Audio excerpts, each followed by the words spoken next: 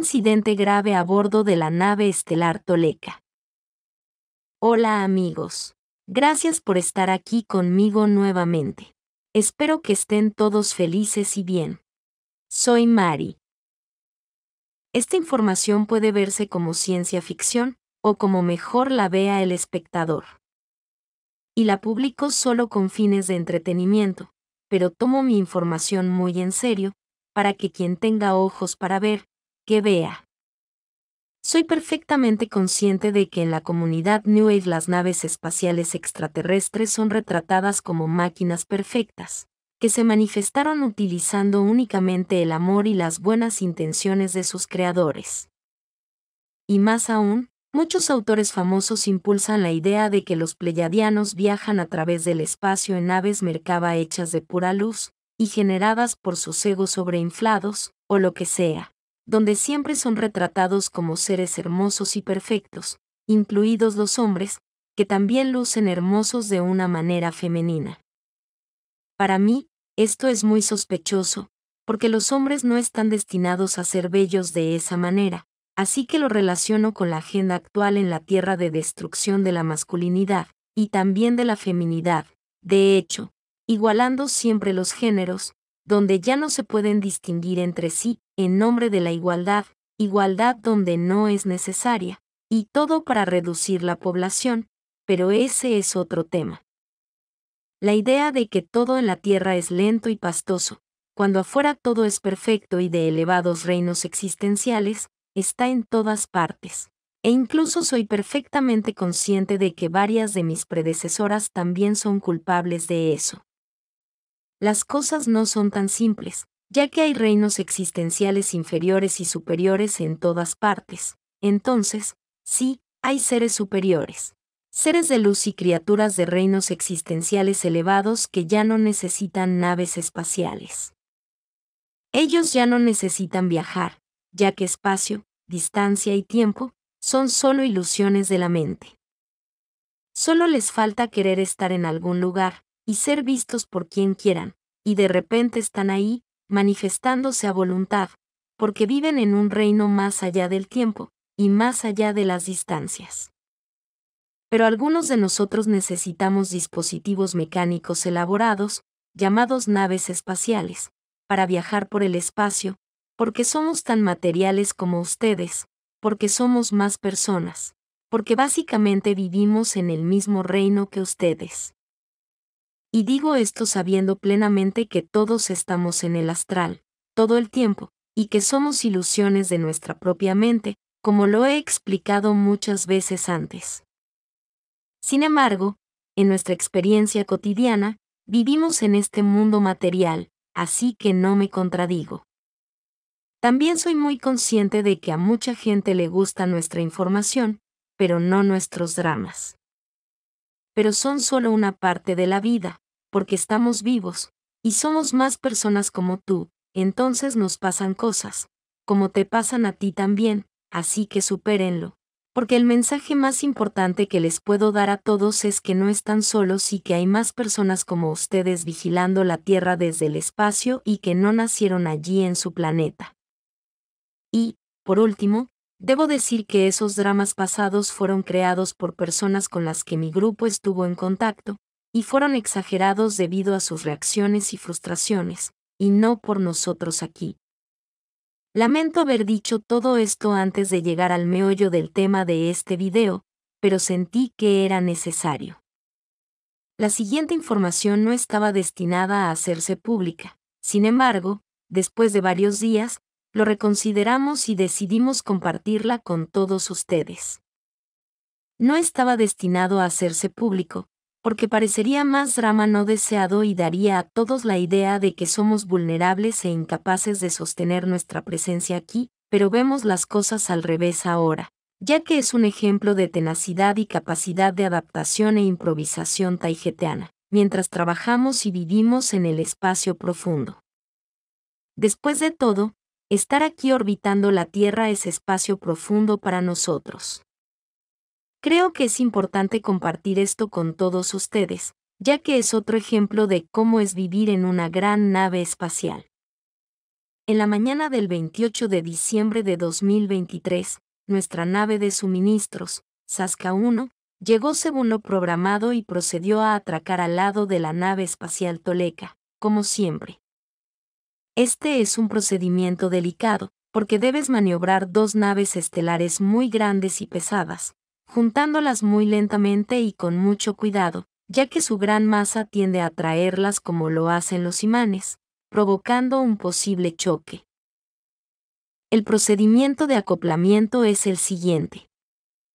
Sasca 1 y Toleca en órbita terrestre baja, se mueven una al lado de la otra, acercándose cada vez más, hasta que sus grandes puertas de hangar coincidan, luego Sasca 1 extiende un acoplamiento telescópico, moldeado para encajar con las grandes puertas rectangulares de ambas naves espaciales. Una vez juntas, se acercan entre sí hasta que finalmente se tocan, y luego se aseguran entre sí mediante grandes abrazaderas mecánicas.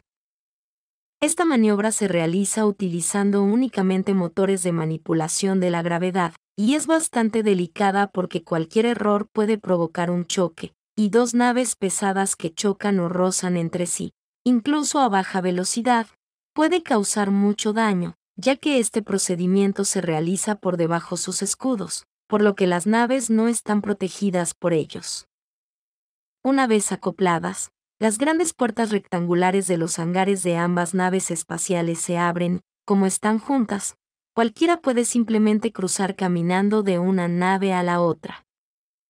La descarga de provisiones, suministros y repuestos se realiza luego mediante simples montacargas y plataformas motorizadas, que transportan todo lo necesario de la Sasca 1 a la Toleca y viceversa de manera bastante eficiente. Esta vez llegó la Sasca 1, descargó dos naves estelares de clase Casa nuevas, de última generación y de clase tipo Casa, la sexta generación de la muy exitosa clase Susi, llamada Super Susi Mark VI, que están destinadas a reemplazar a la antigua clase Scimitar, que son naves estelares que están envejeciendo. Después de que las dos Super Suzy fueron descargadas a través de las puertas del hangar principal sin incidentes, las dos naves Cimitar que habían sido reemplazadas tuvieron que ser cargadas en el hangar de la Sasca 1, para poder llevarlas de regreso a Temer y darles otro uso, otra misión más fácil, el entrenar a nuevos cadetes. Pero como los hangares de ambas naves estaban casi llenos, las maniobras se volvieron delicadas y complicadas ya que tuvieron que mover varias naves de combate dentro de los hangares usando tractores, y muy cerca unas de otras. Y en algunos casos, las puntas de las alas de uno pasaban bajo las alas de otros un poco más grandes. En una situación que es exactamente como mover aviones dentro de los hangares de los portaaviones marítimos construidos por los humanos.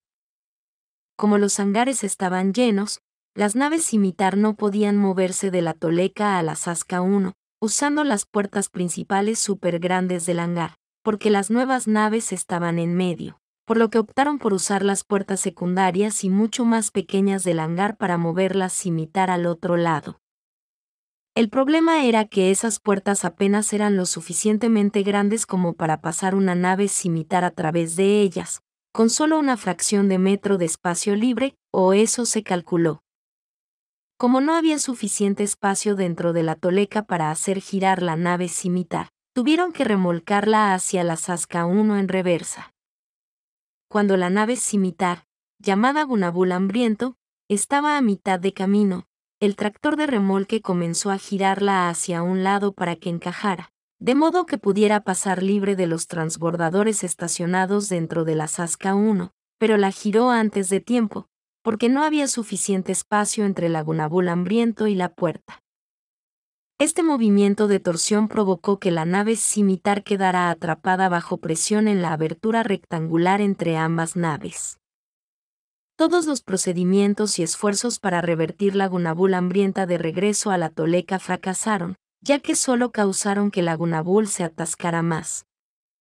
Porque la presión bajo la cual estaba, empeoraba por los movimientos naturales y normales entre ambas grandes naves estelares hasta el punto en que los neumáticos de las ruedas del tren de aterrizaje delantero de Laguna Bull explotaron, con un ruido horrible, haciendo que todo el peso de la nave recayera sobre los bordes desnudos de su tren de aterrizaje delantero, lo que también deformó el suelo del hangar de la Toleca. Esto provocó que el tren de aterrizaje de Lagunabul quedara dentro de una depresión en el metal del suelo, lo que imposibilitaba su movimiento en cualquier dirección. Además del suelo, la nave encajada también dañó los raíles de la puerta superior de la Toleca.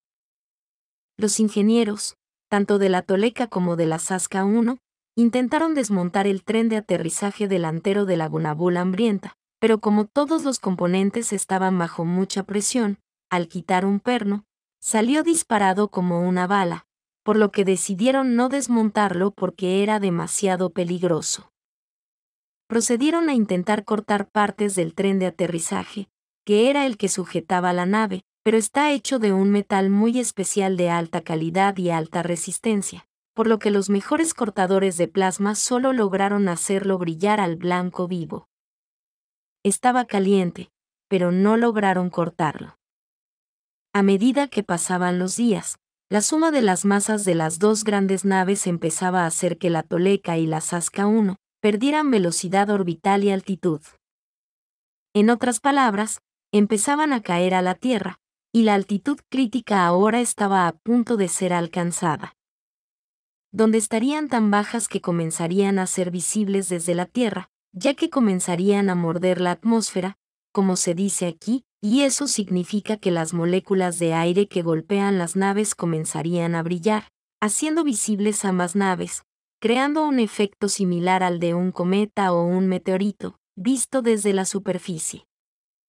Pasaron los días y no se lograba ningún progreso, y los ingenieros de ambas naves comenzaban a preocuparse mucho ya que tenían tiempo limitado para resolver el problema, antes de que la Toleca y la Sasca 1 se hicieran visibles, infringiendo así las regulaciones de la primera directiva y la federación.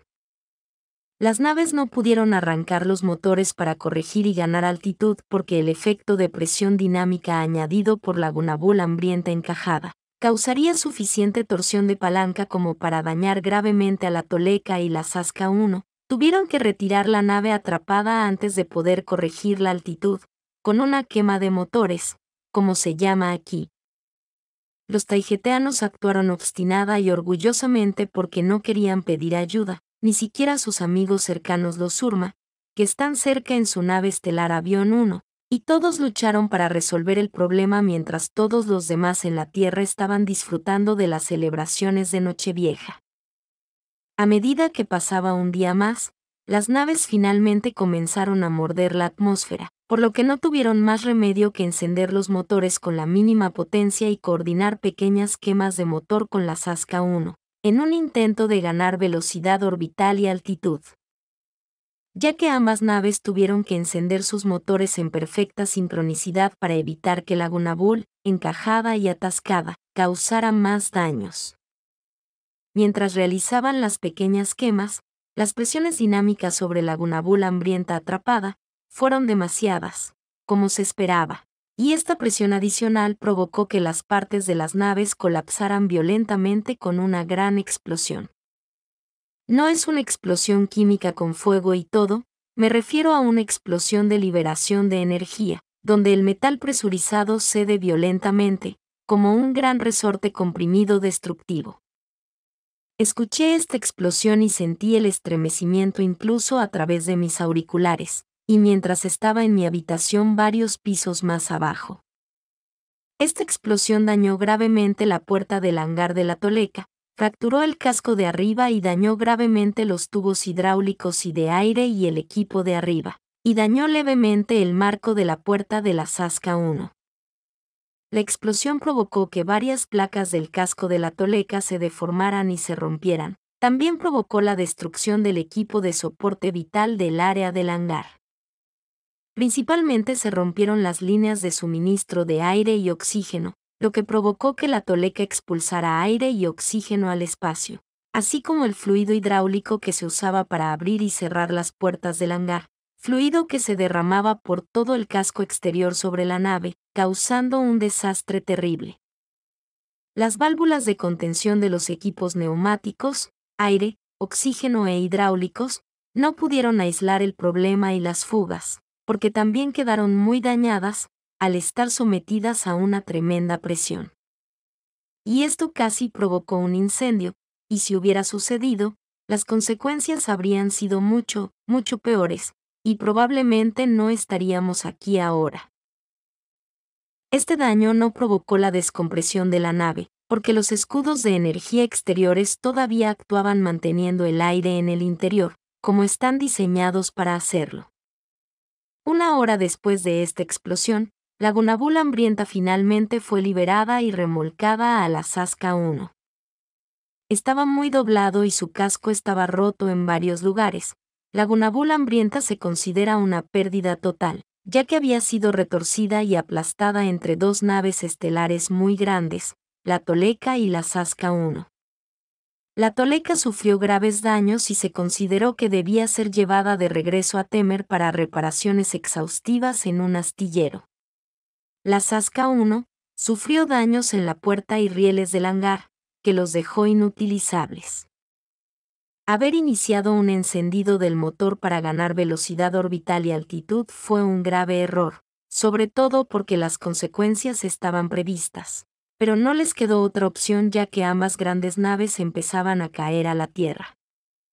Sasca 1 y Toleca, todavía acopladas juntas, realizaron una serie de pequeñas quemas o pequeños encendidos de motores, para corregir lentamente la velocidad orbital y la altitud, y luego procedieron a estudiar los daños y la situación. La Sasca 1 no es solo una nave de suministros, como un buque de carga, sino que también es una plataforma de respaldo para ayudar a otras naves espaciales en el espacio profundo. Está llena de talleres, grandes máquinas replicadoras, equipos de construcción y reparación y vehículos de servicio, y también transporta varias toneladas de repuestos y materiales genéricos para reparaciones en el espacio profundo. Inmediatamente después de este incidente, todos los ingenieros de la Sasca 1 y la Toleca, incluido su ingeniera principal, Saikira, comenzaron a trabajar en las reparaciones, para hacer todo lo posible para que la Toleca no tuviera que regresar cojeando a Temer para las reparaciones, abandonando esta área alrededor de la Tierra quedando sin supervisión y durante un periodo de tiempo desconocido. Con el paso de los días las reparaciones han avanzado mucho, aunque todavía se trabaja en los lugares y equipos dañados. La Toleca ya no necesita volver a temer para reparaciones, pero estuvimos cerca de necesitar irnos de aquí. Estuvo cerca. Las reparaciones aún tardarán varios días, si no semanas, en concluir, pero ahora se dice que todo se solucionará desde aquí, con la ayuda de la Sasca 1 y su tripulación, que seguirán atracados en la Toleca durante el tiempo que se necesite, de momento. La última vez que estuve en el hangar viendo lo que estaban haciendo, estaban colocando nuevas placas del piso en el hangar de la Toleca con un vehículo con grúa y las estaban soldando. Después de reparar el daño, los ingenieros y talleres de la Sasca continuarán reparando lugares más pequeños, cosas y equipos dañados o desgastados en Toleca, como un ascensor de servicio que no funciona.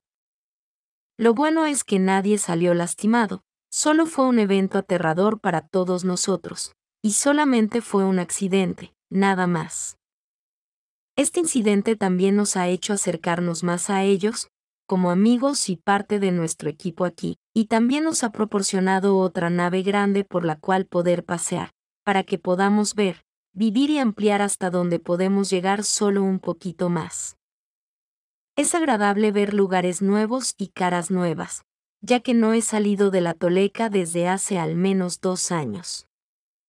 Las cosas poco a poco están empezando a volver a la normalidad aquí, aunque el casco de metal negro de la Sasca 1 todavía bloquea la vista de la Tierra desde la ventana de mi dormitorio. Extraño verla desde aquí, especialmente antes de irme a dormir, como siempre lo hago. Espero que les haya gustado mi video, una pequeña pista de las peripecias y peligros de vivir en el espacio. No es tan glamoroso como se cree, puede ser muy peligroso, estresante e irritante, y puede romperte los nervios. Gracias por ver mi video, y por darle like, compartirlo y suscribirse. Lo aprecio mucho. Y espero verlos aquí la próxima vez. Cuídense. Con mucho cariño, su amiga. Mari Suaru.